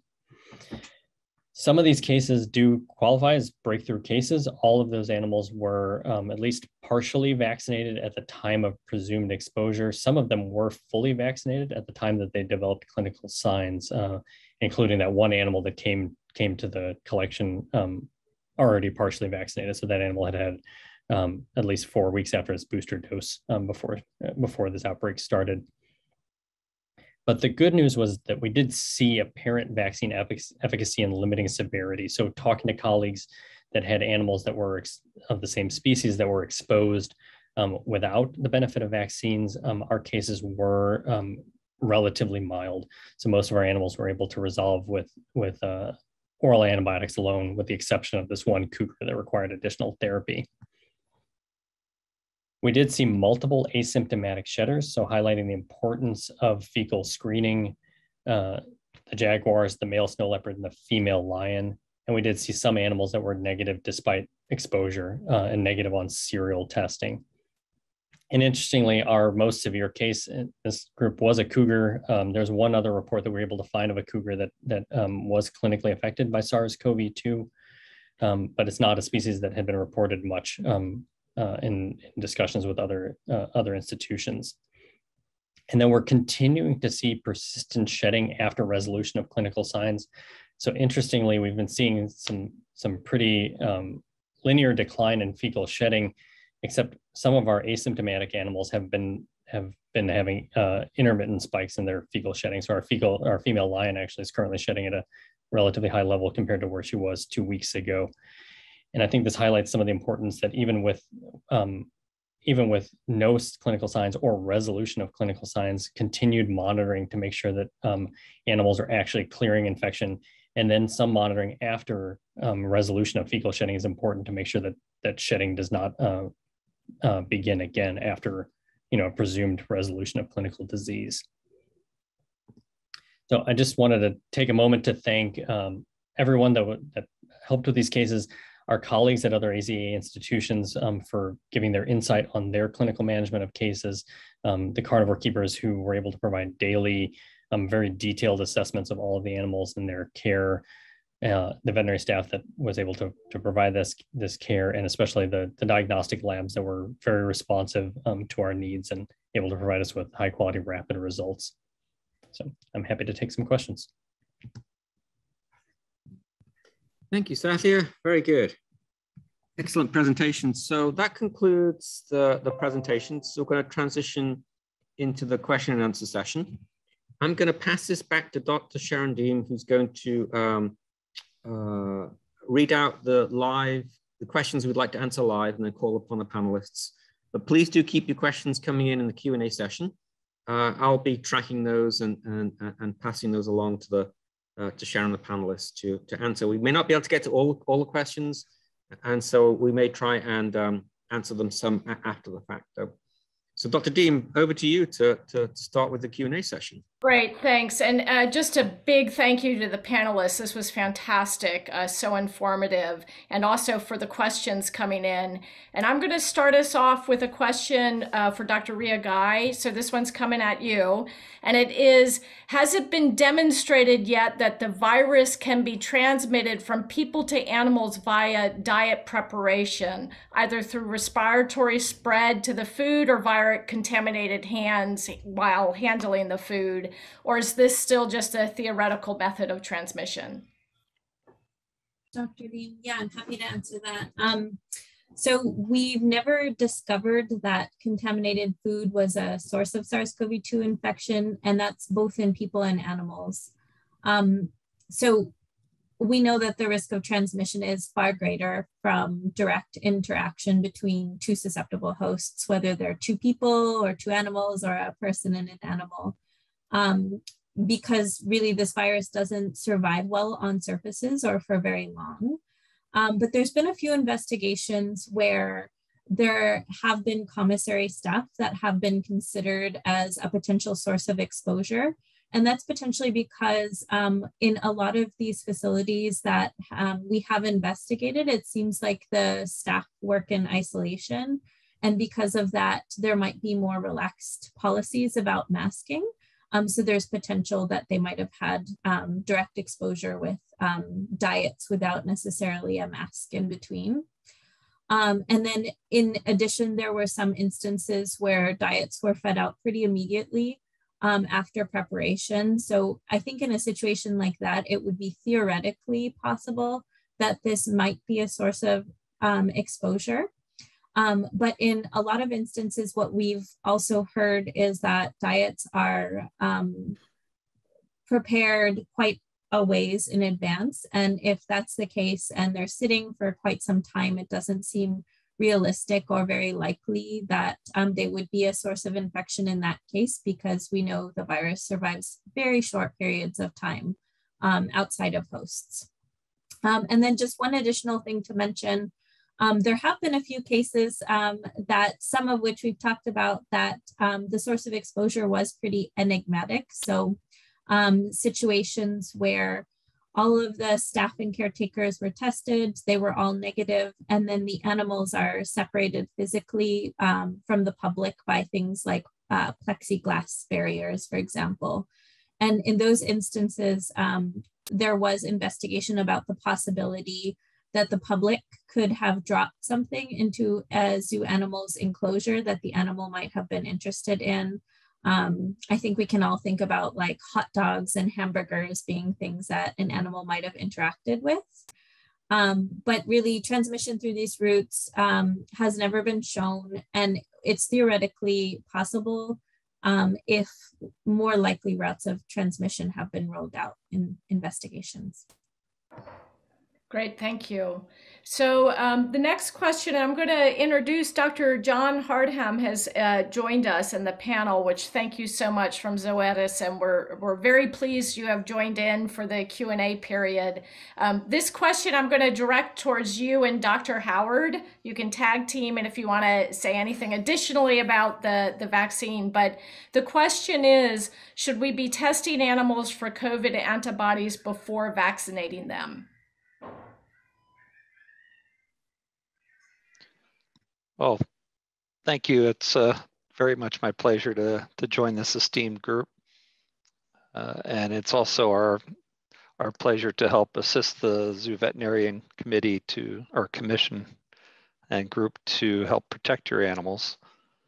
Um, as far as pre-testing for antibodies, you know, similar to the human situation, uh, where after an initial infection, they do recommend a waiting period before initiating vaccination to help booster the titers, uh, just because some very low level initial infections, say with the Wuhan 1 variant, uh, may not generate a sufficient immune response to protect against later infection with variant viruses. Uh, so we don't necessarily require a pre-screen of animals uh, prior to vaccination, just if they had been previously infected to allow a sufficient time period, uh, approximately 60 days or so uh, after resolution before vaccination. Dr. Howard, you're good with that? yeah. Okay, thank you very much. That's great. Um, we'll move on to the next question, which this one is going to go to our CDC colleagues. So both of you um, may want to um, answer this one. And, and there are two questions I'll ask at the same time. And, and one is, when facilities are using N95s, are they fit testing all staff or just deploying the mask? And what are current thoughts on the use of face shields in addition to mask? Is this useful or not?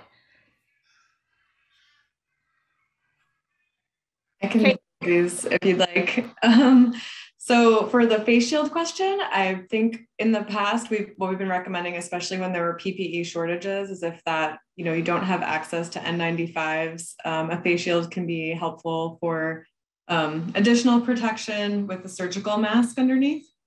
Um, so they can be useful in that scenario. And then the other question uh, was about whether or not staff should be fit tested, I believe. And um, we definitely recommend that whenever possible, if you are going to be using um, 95s, to make sure that the staff are fit tested, to make sure they're using one that um, works for their face shape and, um, you know, that they're properly trained on how to take on and, and, and off the, the face mask. Um, so especially for people that are going to be working around the animals that we know are susceptible. Great, thank you. Wonderful. We're going to um, jump to a new question. This might be a surprise for the panelists. We'll see. So um, the question, and Dr. Sleeman, I'm going to start you off, but if others would like to chime in as in well as well, that would be great. And have we noted any transmission, same species, once infected from a human source, or is this solely a human to non-human uh, pathogen? Yeah, yeah. So the the vast majority, if not all of the cases that, that we've seen in animals, both domestic and wild, have a human origin for, for infection. Um, now, in white-tailed deer, with that recent study in Iowa, they did uh, phylogenetic sequencing and, and analysis to demonstrate there was likely multiple uh, introductions of the virus from people, but also um, henceforth deer-to-deer transmission on ongoing transmission.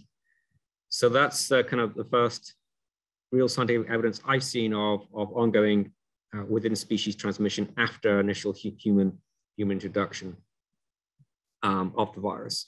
I, I, can't comment about the, the situations in, in, in captive species. Uh, so I think it's obviously based on that study in deer possible um, and something to be considered in the management of these cases in zoos. Um, and I don't know whether anybody else on the panel wanted, wanted to comment on any situations in, in, the, in, in captive animals I think the one that we have the best information on is farmed mink. Um, so in those situations, it's um, it's usually a human exposure, and then we have really good evidence that it's spreading through the mink um, like wildfire. So that's another example. Um, we have um, some evidence um, in companion animals that that might be the case within households. Um, as well, but certainly I think the strongest examples are the one Dr. Sleeman mentioned as well as um, on mink farms. Yeah, I think there's been some suspicion, but there's not a lot of in the way of, of, of hard evidence. It's difficult to prove because especially like it, in the, for example, in the outbreak that Dr. Chinnadurai mentioned, you have a situation where all of those cats are probably being taken care of by the same keepers. So they have the same human exposure. So it's really difficult to determine. Great. Thank, thank you, everyone. Uh, Dr. Terio, I'm going to stay on you uh, for a question or two, and, and I'll read them both at the same time. This came in from one person. So, what thoughts are there on the lack of reported infections in non domestic canids? And also, are there any thoughts on the lack of reported infections in pinnipeds, which are often in close proximity and have close interaction with human caregivers? Yeah, um, I think there's a lot we don't know, is the bottom line. Uh, there is certainly computer modeling that has shown that some of these other species are could be potentially susceptible to the virus. Um, but certainly we also know that from some of those computer models, they had some species, such as the felid and the mink, at lower risk. So those computer models in, the, in and of themselves are not infallible and, and, and not always, you know, correct. There probably are combinations of things between um, individual host innate susceptibility to the virus in combination with animal behaviors and human behaviors. So how are we interacting with them, but also how do they interact with their environment and other and, and, and sources. And so how to that, that probably play a role in, in why we're seeing so many felid um, cases and we haven't seen cases in non-domestic canids. Um, and we've seen relatively fewer cases in, in apes too. So. Great, thank you. Um, this next one is going to come to you, Dr. Howard. And um, the question is Has there been any consideration of giving a human COVID vaccine to apes, especially with the potentially limiting immunity response to the mink vaccine so far? Yeah, I think there's two aspects to this question. The first one, as veterinarians, do we think the vaccine would work? Probably. We just vaccinated all our apes with human flu vaccine. We use polio, we use measles. So would it work? Probably. Might it work, create a higher response than Zoetis? Maybe. Um, so from a veterinary perspective, I wouldn't hesitate. The second part of that's the big part is, is it the right thing to do in this, in this point in time in, in the pandemic? and with the vaccine situation across the world. And at, at San Diego Zoo Wildlife Alliance, we felt very strongly that using human vaccines for our animals was a no-go right now. It's, it's not the right thing to do. Um, in the future, when the COVID vaccine is as available as the flu vaccine, heck yeah, we'd probably use it. Um, but, but right now it just um, doesn't seem like the right thing to do in this climate. Great, thank you. Uh, I'm going to, um, Jonathan's going to do the next question because I think it came into him and I didn't see it. So go for it. Yeah, sure. So there's been a couple of questions coming up regarding the use of fecal samples for PCR testing and the efficacy of, of that method. I don't know whether anybody would like to, to, to, to respond to those questions. Is it, yeah, the questions are, is it as effective as nasal swabs? Yeah, go ahead, Dr. Howard. Um, I know Karen can give you a lot more science, um, but just for us, when we had our gorilla down, we were able to get paired nasal and fecal swabs. This was seven days into his clinical experience, and the fecal swabs were almost negative, and the nasal swab was crazy positive. So there's it probably the correlation varies. I will, I do want to mention though, in our vaccinated animals that then became positive, the amount of shedding in the feces was a lot lower. Um, the C, which means the CT values were higher, if I can remember my math right. Um, so that's something to keep in mind. If you do have vaccinated animals that are showing clinical signs, it's a better chance you'll you'll miss the positive fecals if you wait too long or, or stretch out your, your testing. Similar to people who are vaccinated, they might still shed the virus, but obviously a lot, a lot less. And I'll let Karen um, actually do the science on that. I'll let Ria go first. Do you have something you were going to say, Ria? Oh, sure. Yeah, I was just going to provide a little bit of data that we have from um, companion animals specifically. Um, so where we have quite a lot more data than we do in um, zoo animals. So in those instances, what we typically end up seeing is um, nasal swabs and oral swabs tend to be quite comparable in terms of CT values and sensitivity and specificity. Um, fecal samples tend to be a little um, less sensitive and they tend to detect infection a little later on. Um, so they're a little, nasal swabs tend to be better at detecting infection um, kind of right as it's coming on. And then fecal samples from what we've seen um, tend to have kind of a longer duration, presumably kind of as the virus is passing through the gastrointestinal tract, um, they end up being positive for quite a bit longer than nasal and oral swabs, um, but not, not quite at that initial onset. Yeah, I mean, that's along the lines of what I was going to say is that we're starting to see from the, I mean, we've been able to do additional testing from the, unfortunately, the mortalities and see that sort of where the virus, the sort of progression of infection does change as to where it is located in the body. And, and that may also drive what's, you know, what's going to be positive or not. There may be a time when the lung is positive, but the nasal is not. Um, we don't have enough data to say that for certain, but that's certainly you know something that would be in line with other species that have been studied. Um, then the fecal PCR, it's available. It's a benefit to us in the zoological community because it's a sample we can collect and we're collecting. We're picking them up anyway. So it's something that we can collect non-invasively if your animals are either not trained to do the nasal swabs or are also in, clinically, you know, you're not wanting to, to immobilize the animals just to get the sample for testing. So. Great, thanks folks. So thanks Dr. Deem for uh, leading that uh, Q&A session and, and, thanks again to all the panelists for, for answering all those questions as well, as well as all for the excellent presentations. It's been a, been a really good session. So before we end, we wanted to pass it over to Dr. Laurie Gage um, from the USDA who has a brief annou announcement about an upcoming study that may be of interest and then we will, we will wrap up.